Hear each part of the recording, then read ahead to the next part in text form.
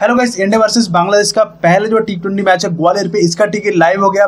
Paytm channel पे general ticket live हुआ है। तो आप लोग जाके पेटीएम चैनल पे तुरंत जाके टिकट बुक कर लेना, क्योंकि देखो इसके बाद टिकट नहीं मिलने वाला है। ज़्यादा सीट बचा हुआ नहीं है। तो आप लोग जाओ पेटीएम चैनल पे, आप तुरंत जाके जो पहले टी मैच है, ग्वालियर पे इसका टिकट आप बुक कर सकते हो। अगर आपको टिकट दिखाई नहीं दे रहा तो आपको लोकेशन यहाँ पे ग्वालियर सेट करना है एंड यहाँ पे इंडिया वर्सेज बांग्लादेश सर्च करना है पेटीएम चैनल पे जाके। आप चाहो तो पेटीएम चैनल का एप्लीकेशन मोबाइल से वहाँ से भी बुक कर सकते हो। इंडिया वर्सेज बांग्लादेश का जैसे आप मैच दिखाई देगा, आपको बुक नाउ का ऑप्शन मिलेगा। बाई नाउ इसके ऊपर क्लिक करना है। नौ सौ रुपए से टिकट का प्राइस शुरू हो रहा है। देखो, नौ सौ रुपए, बारह सौ, पचास रुपए, पंद्रह सौ, दो हज़ार, ढाई हज़ार, तीन हज़ार, आठ सौ, एंड चार हज़ार, चार सौ रुपए का टोटल जो है टिकट अवेलेबल है। नौ सौ रुपए का देख लो लेवल ज़ीरो यहाँ पे वेस्ट एंड ईस्ट में बारह सौ, पचास रुपए का लेवल ज़ीरो नॉर्थ ईस्ट में पंद्रह सौ रुपए का लेवल ज़ीरो नॉर्थ वेस्ट में दो हज़ार रुपये का। देखो, यहाँ पे लेवल फोर रेगुलर ढाई हज़ार रुपये का लेवल फोर प्रीमियम तीन हज़ार आठ सौ रुपये का लेवल टू लॉन्च चार हज़ार चार सौ रुपये का देखो लेवल वन जो है आपको साउथ में दिखाई दे रहा है। अब मान लो कि नौ सौ रुपये का टिकट बुक करूँगा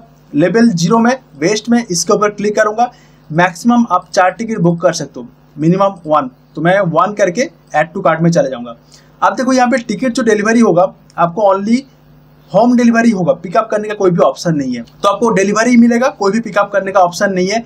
टिकट डिटेल्स पे आपको नीचे जाना है, सबसे पहले पिन कोड डालना है। आपका जो पिन कोड है, यहाँ पे आपको पिन कोड डाल के एक बार चेक कर लेना कि आपको डिलीवरी मिल मिलेगा कि नहीं मिलेगा। यहाँ पे डिलीवरी मिल जाएगा मेरा पिन कोड पे। तो डिलीवरी अगर ओके दिखा देता है, आपका नाम, address one, two, optional landmark and यहाँ पे आपको पिन कोड पिन कोड जो भी माँगता है, स्टेट सब कुछ डाल देना है। ये बिल्कुल करेक्टली डालना है, address one and address two, क्योंकि इसी एड्रेस के थ्रू आपके पास कोरियर आएगा एंड आप जो है फ़िज़िकल टिकट कलेक्ट कर सकते हो। सब कुछ मैंने करेक्टली भर दिया। अब कंटिन्यू यहाँ पे जो ऑप्शन आ रहा है, इसके ऊपर क्लिक करूँगा।